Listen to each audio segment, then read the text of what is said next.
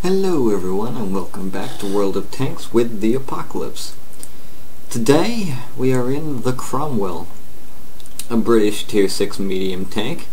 The Cromwell is fast, light, and relatively small with a wonderful 75mm gun, making it very very punchy. Does have a little bit of trouble penetrating higher tier tanks from the front, but if you can get around the rear which you can do in this tank, and we will be doing a lot in this game. Oh boy, the damage you can do with this gun. Uh, wasn't actually planning to bring you a Cromwell replay this week. I really wanted to do a uh, Panzer II Luchs gameplay for this week in honor of the uh, War Thunder Ground Forces closed beta non-disclosure agreement being uh, lifted partially uh, because there are Panzer IIs in War Thunder. However, there is only so much you can do with a Panzer II Luchs on Malinovka, which is what I got repeated, repeatedly, just over and over and over again, before that ISU-152 reduces you to a pair of smoking tracks from halfway across the map, because he just had bigger view range than you did. So, uh, after many, many, many, many, many games of the Luchs on Kampinovka, being reduced to a pair of smoking tracks by ISU-152s and IS-3s and God knows what else with 152mm guns that hurt quite a lot. Um, I, I uh, tried to play a match with the Cromwell, and this was actually the first match I played today, tonight, or this morning, with the Cromwell.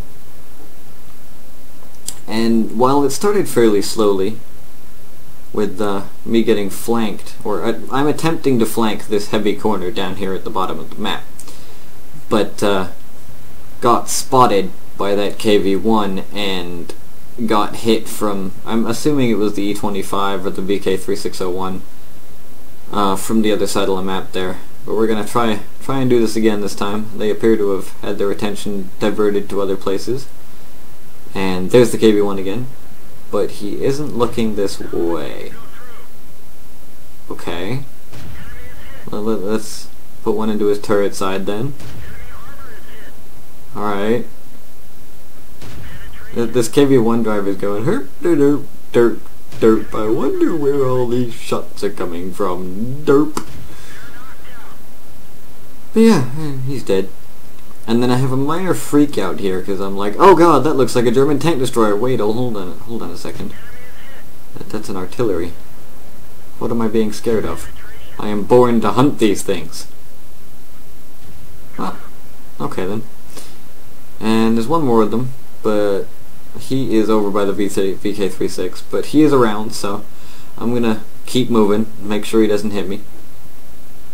I want that E25, but I'm not totally sure where he went, and I'm not about to dive off a cliff after him, and this IS is just ever so juicy. Come back here, IS. Come on. Be a good sport, let me shoot you. Aim. There's one. Okay. Now the Panzer 5 just looks like so much of an easier target. Okay, and oh god, that's the E25. He has a really, really nasty gun. Come on, hit him. One more time. There we go. God, the DPM of that gun. Thankfully, the IS isn't looking my way, so I can pump another pair of shots into his back end. Finish him off. That's actually four kills for me now. In a tier 6 medium, in a tier 7 game. But we're not finished with this flank yet. We've got a T-29 to come and help kill. Or they've already helped kill him. Okay, dokie, swing this baby around. Try not to fall off the cliff as I go. And we're gonna go see what we can do over on this side of the map. There are quite a lot of tanks heading down the north side of our map right now, but we do have a pair of very capable tank destroyers to hold them off who haven't been shot at this entire game, so they're on full health. And me and this ELC are gonna come over here and put pressure on their cap to try and split their forces so that our two tank destroyers can make the most out of their life. Now I'm headed straight for the cap because I don't see anything here, and then that E25 pops up, and I'm like, nope, nope, nope, nope. I don't have enough health to get shot at. Gonna stick to the low ground. He's already missed me once. Get down here where I can go hold down. Even though this tank isn't particularly good hold down, just being a smaller target, that gun isn't incredibly accurate at this sort of range. Being a smaller target is a good thing lost sight of him, so I'm going to make myself as small as possible. The ELC is to my left right now, and our artillery is putting shots into where we last saw the E-25. Oh. Sorry. It is 5 in the morning. And here comes E-25. Very, very fast machine, and I missed that shot, and I'm going to pay for it waiting for him to come up. There he is, and I'm not going to be able to reload before he hits me, and boom! Did take him with me, which makes 5 kills, 2,080 damage done.